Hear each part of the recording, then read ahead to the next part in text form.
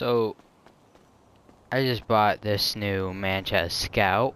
I didn't even know it existed until I was trying to buy something off the Warstock site and yeah, I found out it existed and I customized it and all that.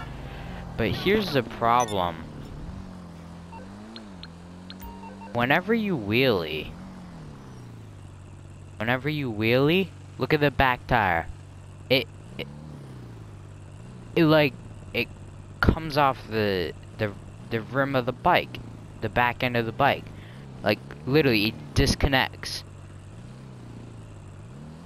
Um, I'll show you with other bikes, it doesn't do that with.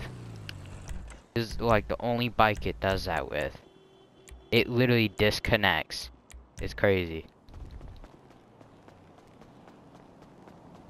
I got another dirt bike because that seems to be a dirt bike because it has e e even uh, finger guards.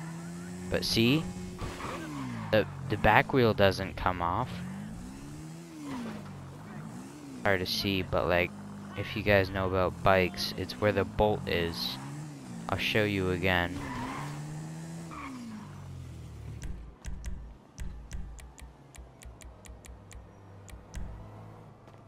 It's it's like come on. Like you really didn't notice that.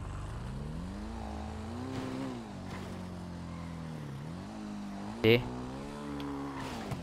Uh-oh.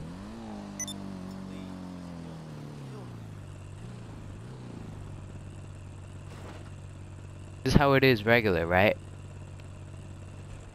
Here, th this is what part of the bike I'm talking about. This part, right here. That part. Yeah, see, see how that just happened? See how that just happened? Hold on.